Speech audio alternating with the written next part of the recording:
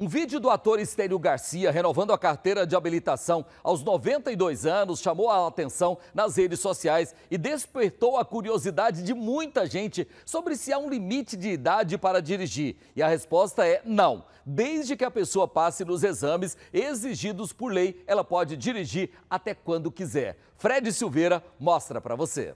Aos 86 anos, seu José exibe todo orgulhoso a carteira nacional de habilitação, que ele renovou recentemente. São tantos anos como motorista que o aposentado nem lembra mais quantas vezes já renovou a CNH. Não me lembro mais assim quantas vezes não, mas a minha primeira carteira eu tirei em 1964. Seu José diz que apesar da idade dirige bem e conhece todas as ruas do centro da cidade. Ele reconhece que falta mais educação aos motoristas de hoje. Eu acho o motorista de Goiânia muito, é, é, é muito dirige, dirige, com muita raiva, você entendeu? E você tem que dirigir saudável, satisfeito, você entendeu? Respeitando.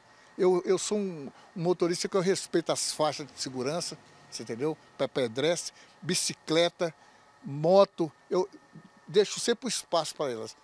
Dirijo tranquilo, graças a Deus. Seu José não é o único nessa faixa de idade que buscou a renovação da Carteira Nacional de Habilitação.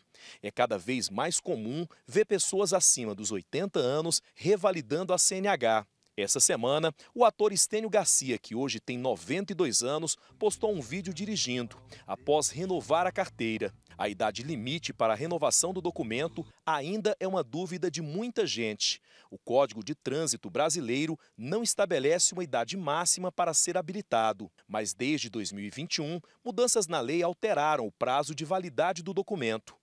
Após os 50 anos, por exemplo, algumas regras mudam na hora da renovação. Acima de 50 anos, a renovação acontece a cada 5 anos. E acima de 70 a cada 3 anos. E aí, todos os exames que qualquer pessoa, seja o idoso ou a pessoa comum, tem que fazer, que é o exame médico psicológico, ele vai fazer em cada renovação. Para renovar a habilitação, todo motorista ou motociclista precisa passar por exames médicos de aptidão física e mental, incluindo exames psicológicos.